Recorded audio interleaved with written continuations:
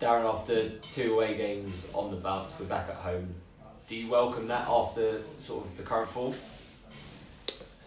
Yeah, I mean, I could sit here and dwell on the last two performances, you know, but I'm, I'm not going to. You know, we've, we've played 10, 11 games, and all barring two of them, I've been really pleased with our application and our effort and how we've approached games and how we've played in games. But, you know, obviously the last two games are fresh in our mind and they're the ones that people discuss and, and we've spoke about. Um, but we've got to put it behind us. They're two bad days for us. In particular, on Tuesday was a really bad day. But we've we've tried to lift the boys. There's there's there's a definite change in confidence after two poor performances. So there's no magic wand to get the confidence back. But what we need to do is go out and work as hard as possibly can to to find the quality that we was playing with before them two games. Um, so you know we got we've got a lot of young boys here that you know need help. They need they need a bit of guidance and they need some help, and that's what we're here to do. We're just reminding them of their capabilities and how good they can be. Um, but majority of the time, it stems from hard work. So that's certainly one area that we need to improve on. Obviously, following the game, you made your feelings on the performance pretty clear. Have you got the response from the boys that you wanted following those two defeats? tomorrow will give me that answer. You know, you can, we can anyone can respond in training. That's not the time. I mean, they've been focused and they've been um, their attitude's been good in training. You know, we've we've gone over what's happened in in the last two games.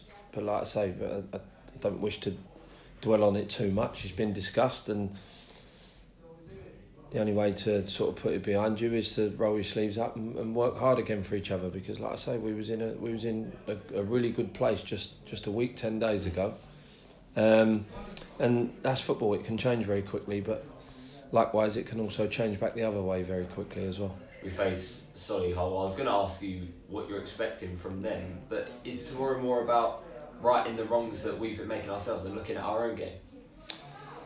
I tend to look at football that much, uh, sorry, that way anyway. You know, we, we, we always show respect to the opponent and, and touch on what they're about, but, you know, tomorrow, maybe more than ever before this season, you know, we- our previous games, we've been good and it's been about us.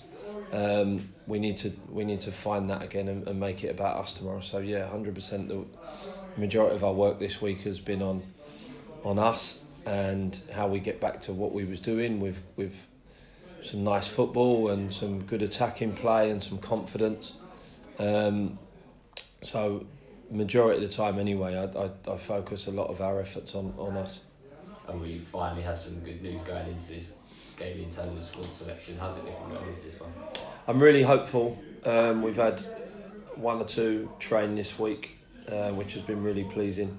I'm really hopeful um, that we've got an extra one or two that we can select from tomorrow, which will make us stronger and, and more experienced. And you know, the, the the young boys have done brilliant. I've got to be honest, they've done brilliant.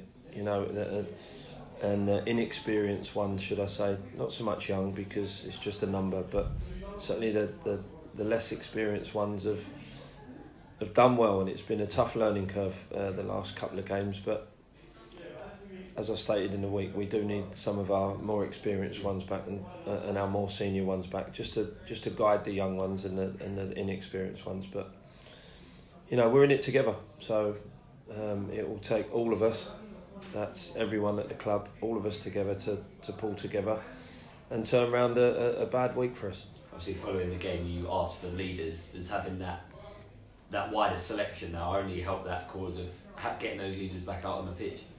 Yeah, they're important, aren't they? Because they're, they're they're a bit wiser in situations like last Saturday and Tuesday where you maybe not performing to your levels, and you know, in particular Tuesday night, everyone's looking around for someone else to, you know, and we had Cal trying to talk. He's he's obviously um, experienced, but you know, looking around the rest of the team, there wasn't too much experience. And listen, it, it, it played its part the other night, but what I need is people to come out the other side and show a bit of character, roll their sleeves up, work as hard as they can, and do the things that they've already shown that they can do, and and just get back on track as quick as they can for their sake as much as anyone because.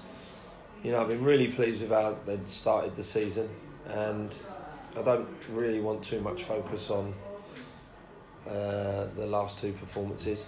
Having said that, we can't stick our head in the sand either. It's they were two bad days, and it's it's only going to take hard work and us sticking together that will bring us out the other side.